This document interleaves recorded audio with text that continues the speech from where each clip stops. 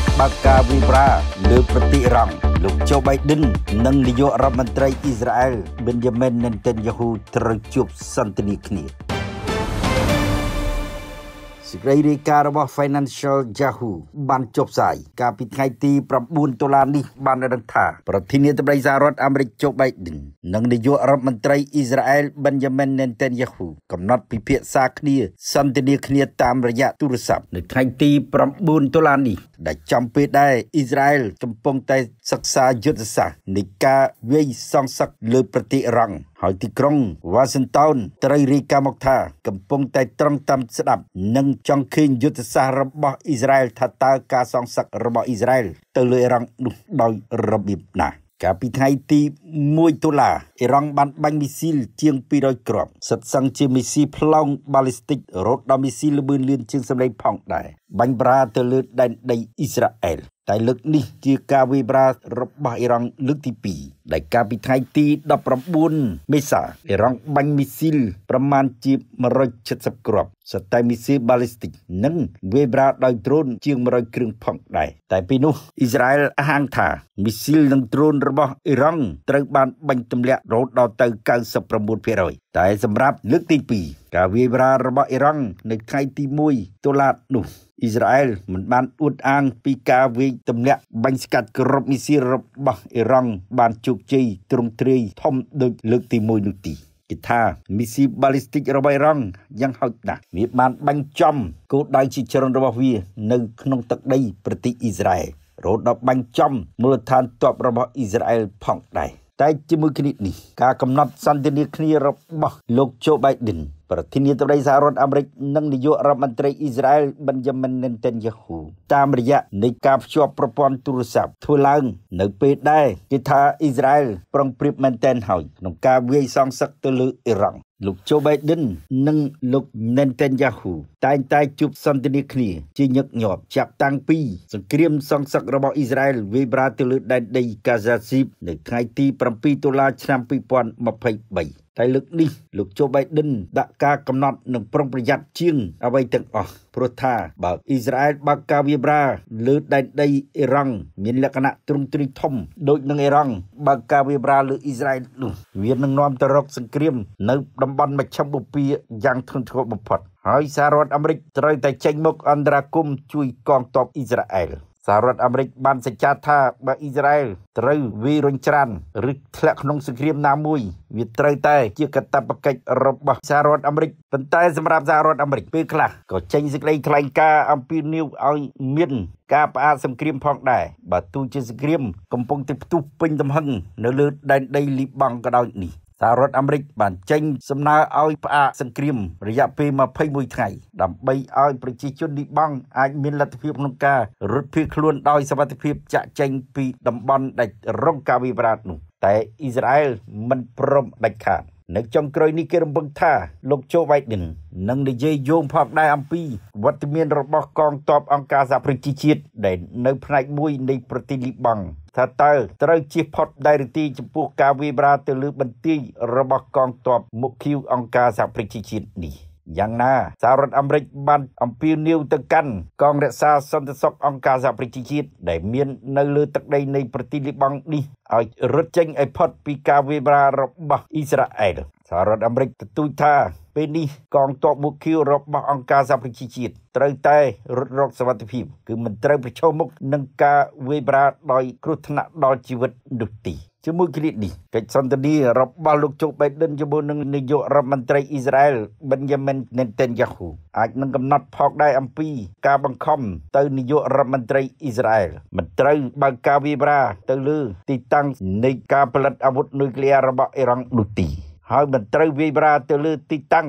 ស្តុកព្រីងឬចម្រាញ់ព្រីងរបស់អ៊ីរ៉ង់នោះទេជាមួយគ្រីតនេះអ៊ីស្រាអែលបើទោះជាលោកโจ Biden បានថ្លែងដូចនេះ ភាគីរបស់អ៊ីស្រាអែលមិនបានយល់ព្រមនោះទេហើយថាការវិសងសឹកវាអាចមានរូបភាពច្រិនយ៉ាងទៅលើអ៊ីរ៉ង់ប៉ុន្តែជាមួយគ្នានេះអនុប្រធានាធិបតីសហរដ្ឋអាមេរិកកាម៉ាឡាហារីសដែលជាបេក្ខជនសម្រាប់ការបោះឆ្នោតប្រធានាធិបតីអាមេរិកនៅថ្ងៃទី5វិច្ឆិកាប្រមាណថ្ងៃទៀតនេះបានសច្ចាថានៅជាមួយអ៊ីរ៉ង់ជាតិនិច គឺសហរដ្ឋអាមេរិកនៅ បន្តគាំទ្រអ៊ីរ៉ង់រហូតដល់មជ្ឈមបូព៌ាមានសន្តិភាពរឹងមាំឡើងវិញតែជាមួយគ្នានេះការសន្ទនាគ្នាដែលប្រព្រឹត្តទៅនៅថ្ងៃទី9តុលានេះរវាងនាយករដ្ឋមន្ត្រី Benjamin Netanyahu ជាមួយនឹងលោក Joe Biden ប្រធានាធិបតីសហរដ្ឋអាមេរិកនោះក៏ត្រូវធ្វើឡើងក្រោយពីការចាក់ចេញដំណើររបស់រដ្ឋមន្ត្រីការពារជាតិអ៊ីស្រាអែល Yoav Gallant ទៅជួបសមាភិកីសហរដ្ឋអាមេរិក Lloyd Austin ត្រូវបាន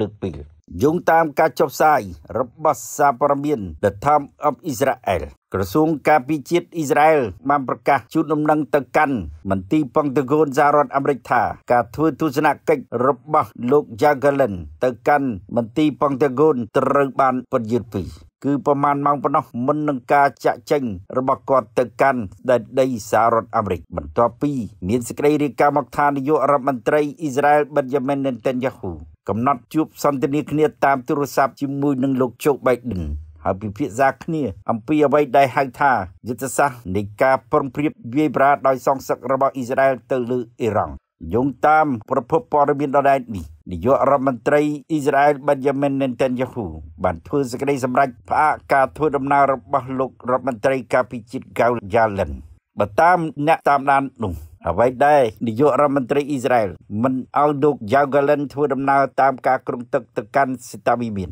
ទៅកាន់មន្ទីរប៉ុងទីគូនដើម្បីជួបលោករឡយអូស្ទីនរដ្ឋមន្ត្រីការពារជាតិរបស់សហរដ្ឋអាមេរិកនោះ ព្រោះតែនាយករដ្ឋមន្ត្រី Benjamin Netanyahu ត្រូវការលោក Jagland ជាចាំបាច់បំផុតគឺត្រូវតែមានវត្តមាននៅពេលដែលអ៊ីស្រាអែលកំពុងតែត្រៀមលក្ខណៈក្នុងការវាយសងសឹកទៅលើអ៊ីរ៉ង់និងកំពុងតែធ្វើសង្គ្រាមយ៉ាងខ្លាំងក្លាវាយលុកចូលទៅដែនដីនៃប្រទេសលីបង់ តាមគម្រោងលោក Jagland ត្រូវចាក់ចេញពីដែនដីអ៊ីស្រាអែលនៅយប់ថ្ងៃទី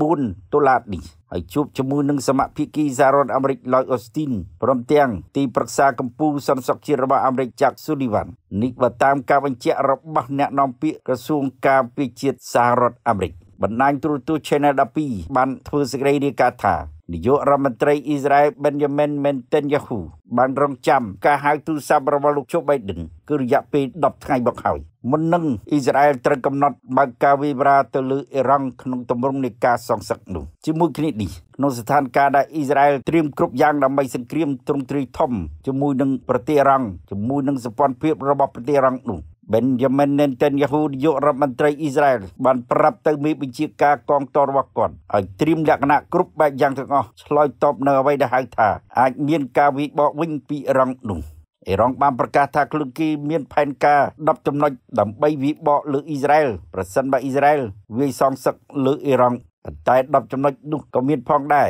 គឺអ៊ីរ៉ង់ត្រូវកំទេចនៅអ្វីដែលហៅថាទីបញ្ជាការធំធំរបស់អ៊ីស្រាអែលទាំងអស់នៅលើទឹកដីអ៊ីស្រាអែលប៉ុន្តែអ្នកសង្កេតការនៅតែមើលឃើញថាក្រោយពីជំនួបជាមួយនឹងលោកโจបៃដិននិងតាមការសម្រាប់សម្រួលរបស់មន្ទីរពងតកូនដែលអាចផ្ដល់អនុសាសន៍មួយចំនួនហើយនោះគឺអ៊ីស្រាអែលអាចនឹងបើកការវាយសងសឹកទៅលើអ៊ីរ៉ង់ដោយជាពំរុចនោះទី ពិភពលោកកំពុងតែដាក់ការព្រួយបារម្ភយ៉ាងខ្លាំងពីចលនាទៅរកសង្គ្រាមទ្រង់ទ្រាយធំនៅតំបន់មជ្ឈមបូព៌ាដែលពួកគេថាបើអ៊ីស្រាអែលបើកការវាយសងសឹកមែននោះ ហើយអ៊ីរ៉ង់ក៏បើកការវាយសងសឹកវិញដែរវានឹងទៅរកសង្គ្រាមត្រឹមត្រីធំ ហើយពិភពលោកនឹងជួបហានិភ័យធ្ងន់ធ្ងរបំផុតប៉ុន្តែសម្រាប់សហរដ្ឋអាមេរិកគឺលោកโจ Biden បានសញ្ជាថានឹងជួយការពារអ៊ីស្រាអែលគ្រប់យ៉ាងទាំងអស់ដែលចាំបាច់បំផុតគឺមិនទុកឱកាសឲ្យអ៊ីរ៉ង់និងសម្ព័ន្ធភាពរបស់អ៊ីរ៉ង់អាចវាយសន្ធប់អ៊ីស្រាអែលបាននោះទី ប៉ុន្តែរដ្ឋការរបស់លោកโจ Biden